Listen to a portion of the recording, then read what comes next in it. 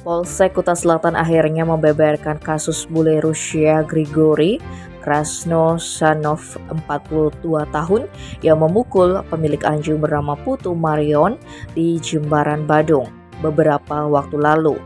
Bule itu pun dihadirkan di Mapolsek Kuta Selatan pada Jumat 13 Oktober.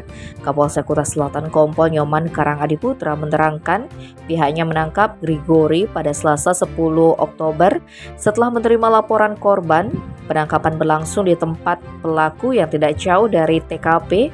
Adapun kejadian itu dikatakan bermula ketika WNA asal negeri beruang merah bersama istrinya dikejar anjing milik korban di Perum Permata Arisa lingkungan Mekarsari Simpangan Jembaran sehingga Grigori berbalik mengejar anjing tersebut tapi hewan itu juga menyerang kembali.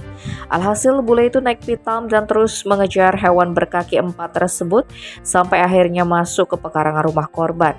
Di sana pelaku memukul anjing tersebut dan diketahui pemiliknya yaitu Marion yang kala itu baru saja sampai di rumah. Korban lantas mencoba menghentikan Grigori, bule itu langsung menghampiri Marion dan memukulnya pada bagian mulut sampai berdarah. Kejadian itu diketahui tetangga sekitar dan mereka segera memisahkan keduanya. Setelah mengalami penganiayaan, korban melaporkan insiden ke Polsek Kuta Selatan, melakukan visum dan menjalani pengobatan. Unit Reskrim Polsek Kuta Selatan lantas menyelidiki kasus ini dan berhasil mengamankan Grigori. Pihaknya juga menyita barang bukti berupa pakaian korban, pakaian pelaku dan paspornya.